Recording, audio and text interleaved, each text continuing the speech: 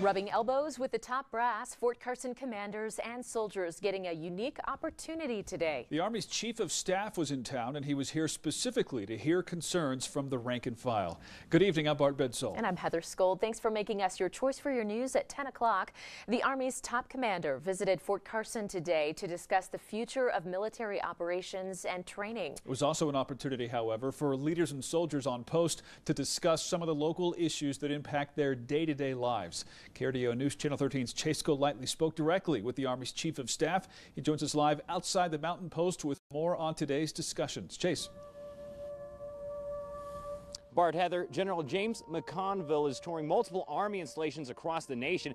He wants to hear directly from soldiers the concerns that they have. So, as you can imagine, here at Fort Carson, military housing was one of today's hot button topics.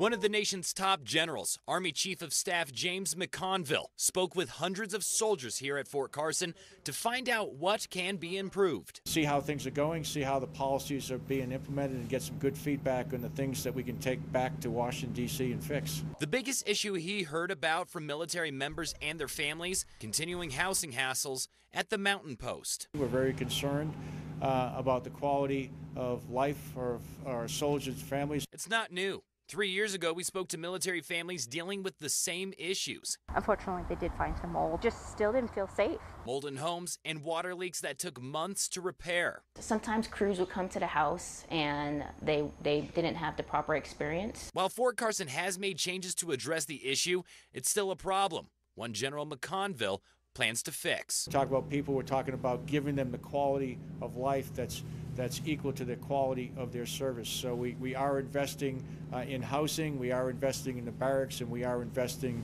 in quality of life initiatives. But it wasn't just changes on post. McConville also addressing overall revisions to the future of military training and operations. Taking advantage of the technology that is out there, the, the ability to train in virtual and augmented reality, the, the, the ability to use a synthetic training environment. Tools you would expect to see in a movie or a video game. Our infantry soldiers will have a system we call the Integrated Visual Augmentation System, which is like a heads-up display that will provide them the information that they need to make decisions much quicker. A transformation necessary to improve soldiers' capabilities in extreme situations.